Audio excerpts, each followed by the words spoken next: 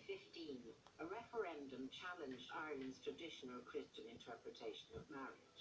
The Catholic bishops had made their position clear, but Sister Stan chose to follow her own conscience on what to her seemed simply a matter of fairness and equality.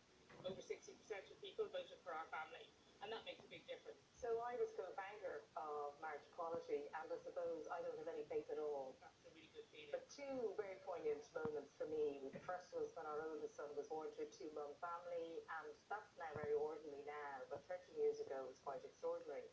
And we were having a naming party, and Stan came and did that. And then she came to the launch of Yes Equality.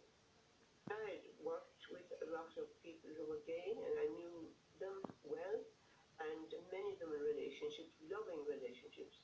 And I thought it was right that they should be allowed to marry. Sister Stan's statement comes the day after no fewer than six Catholic bishops elaborated on their opposition to the referendum proposal. She just said very calmly and quietly that she didn't think it was fair that a whole community of people would be excluded from an institution that was so important in Ireland.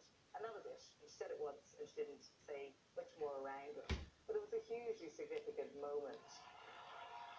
And then I would say rather than take on her order, she might have brought them with her.